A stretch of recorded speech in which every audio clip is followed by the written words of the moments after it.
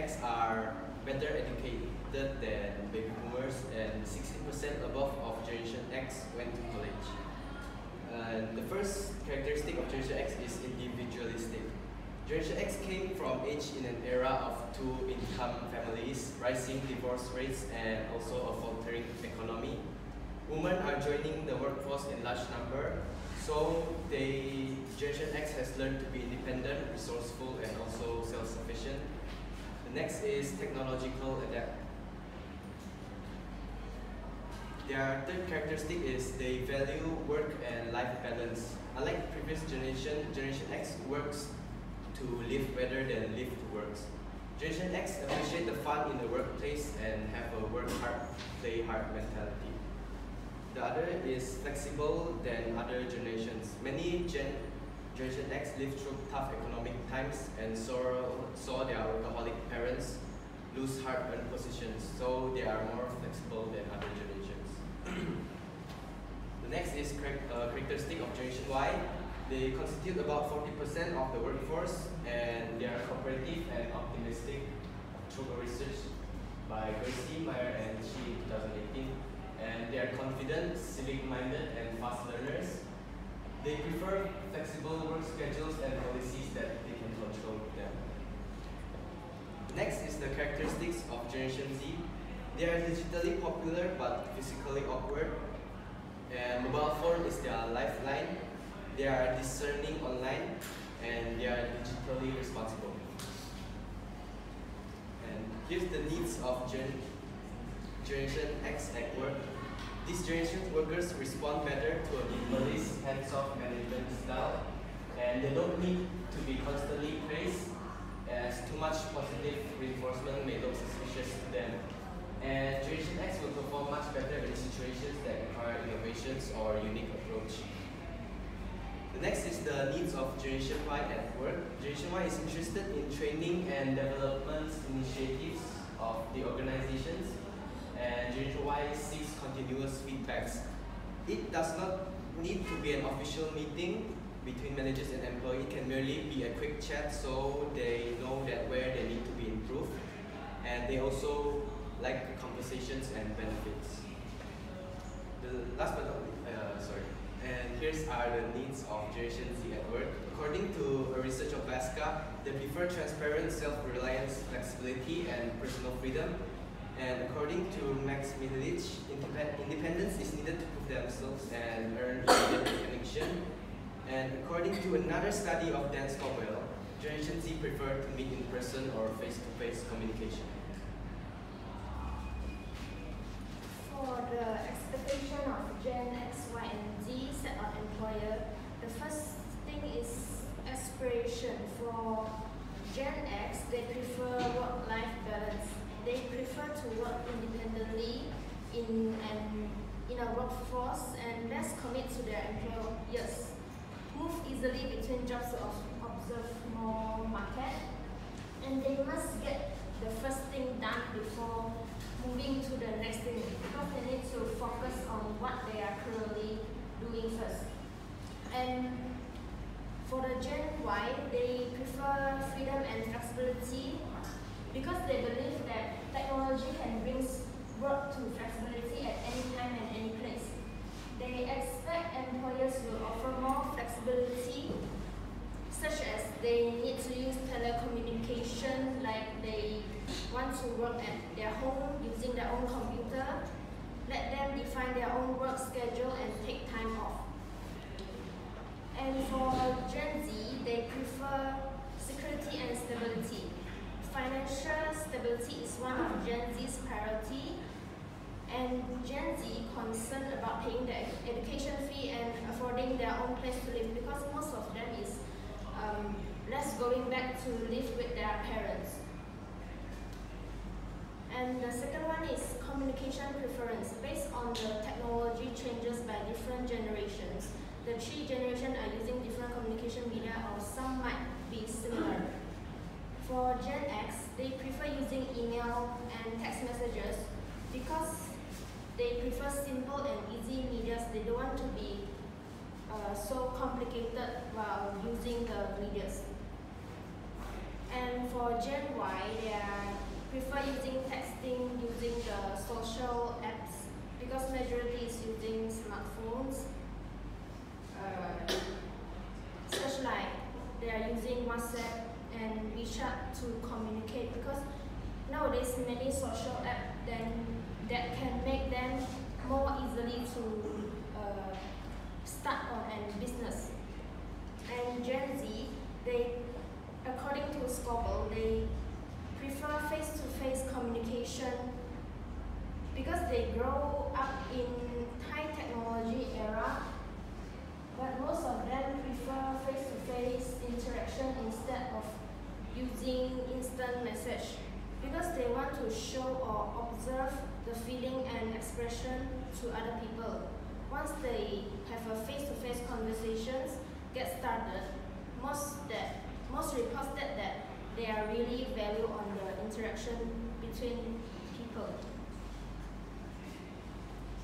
And third is the recognition and rewards is very important to them.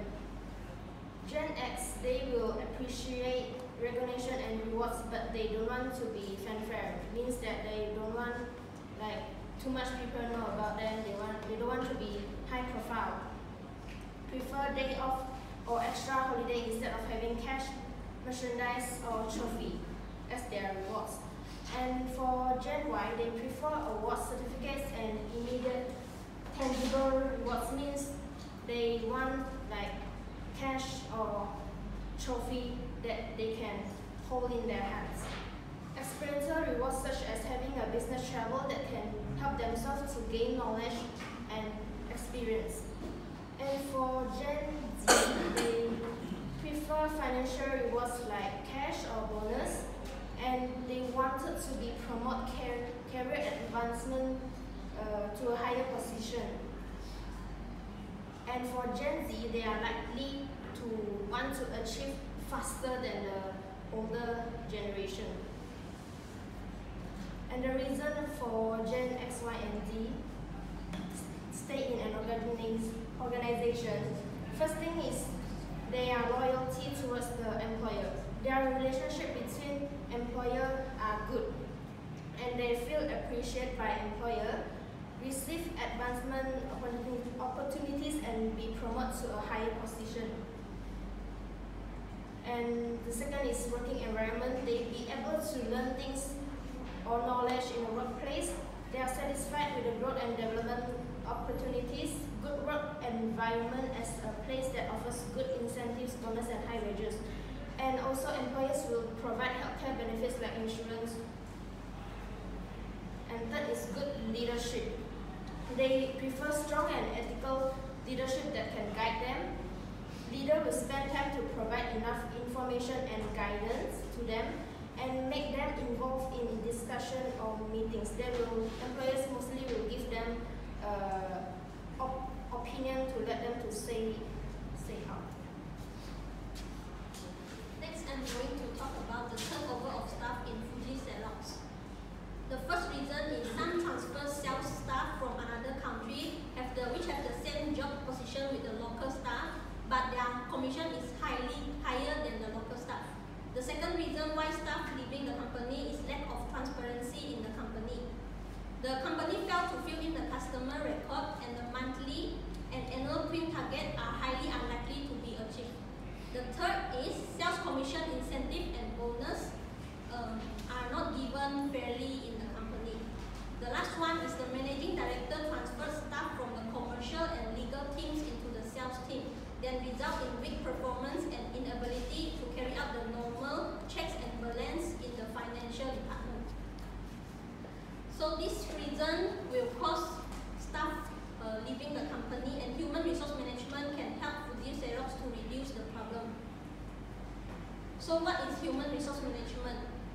In 1987, Guest ar- argued that human resource management is not a replacement but somehow differs from personal statement management. There are four key dimensions to HRM which is commitment, flexibility, quality and integration. So the first human resource management perspective for Fuji Xerox to reduce the problem is using is the Fuji Xerox focus on Harvard model, which the employees as resources, but they are different with other resources and cannot be managed in the same way. The employees are stakeholders in the company and they have their own needs and concerns like shareholders and, and customers. The Harvard map includes human resource flows, which include recruitment, reward system, which include pay system, employee influence, which includes responsibility, power, and others, and the work system, which is design of work and alignment of people. The four C's that have to be achieved in Harvard models is commitment, congruence, competi- competence, and cost effectiveness. This is the figure of Harvard model. Going, if the Fuji Xerox going through properly from the stock, stockholder, stakeholder interest and situational factors to HRM policies and HR outcomes will lead to a long-term consequences in a good result of the company. The second perspective is Warwick, Warwick's model that Fuji Xerox can follow. Warwick's focus on five elements, which is outer context. Outer context is macro environmental forces. Inner context is the micro environmental forces, and also include business strategy content, HRM context, and content. Warwick's model includes business strategy and HR practice, as well as the external and in- internal context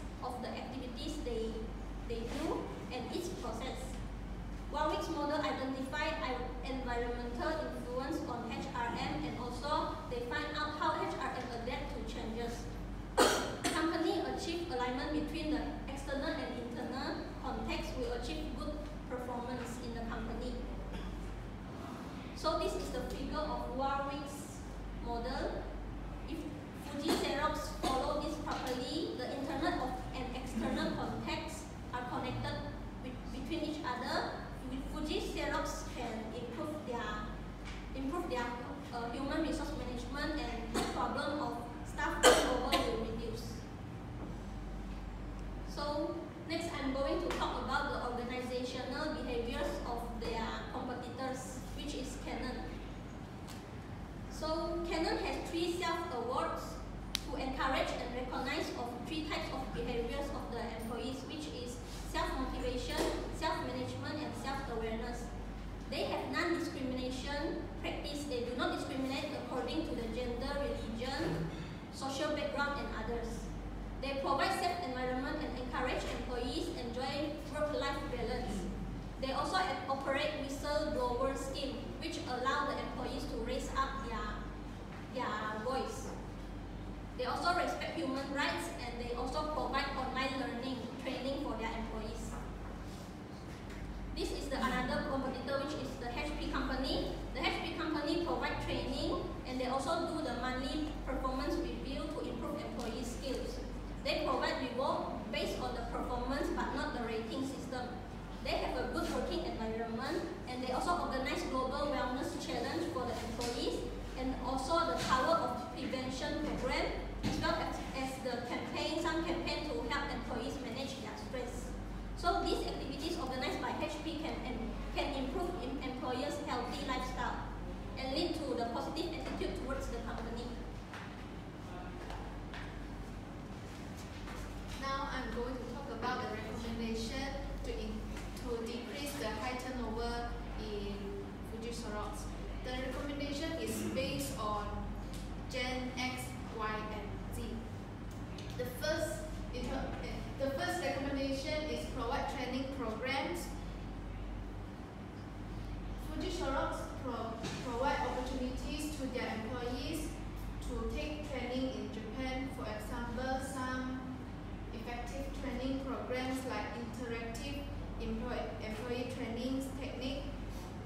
Fuji, Fuji Xerox keep your employees engaged which make them more receptive to new information. This technique is one of the best way for more knowledgeable employees to pass their skill to new employees. The next is hand-on training technique. It is also known as experiential trainings offer various techniques such as coaching, which focuses on the individual needs of an employees and it is less formal than others technique. And the last two is computer-based training techniques and e-learning or online-based training technique. The second is Fuji short Xerox should make health and safety a priority. The employers should consider a self-defense and healthy cause, for example, protect against bullying, rudeness, physical threat, and sexual harassment. The employees not only will appreciate by the companies, but could save their life. And the third is Fuji Xerox should give them reward. Reward is important for employees because when the employees know that they their efforts are appreciated, it will increase their self-esteem and satisfaction with their job. Not only that, it also can increase productivity as well. Uh, some example is bonuses and salary increases. And the fourth is employee. The Fuji Xerox should give their employees have their own time. Fuji Xerox should empower employees to make choices because when people feel that they are trusted, they will respond to that. For example, Fuji Xerox might let their employees work from home when needed or adjust their work balance to balance their family. Those freedoms show confidence and help the employees tailor the job to the needs. The last is Fuji Xerox should take the feedback from the employees. And effective feedback is very helpful. It can help the employers who take the time to understand what employees need to provide for them as well as Fuji Xerox increase the Fuji Xerox performance. Feedback is also a motivated tools for continued learning. In conclusion, Fuji Xerox should take Harvard, Harvard um, and Warwick model as a reference to make changes within the company. Fuji Xerox should follow Canon's organizational behaviors like non-distribution practice and operate visual broader stream. And the Fuji Xerox should also follow HP organizational behavior like provide rewards based on organize campaign help employees manage stress.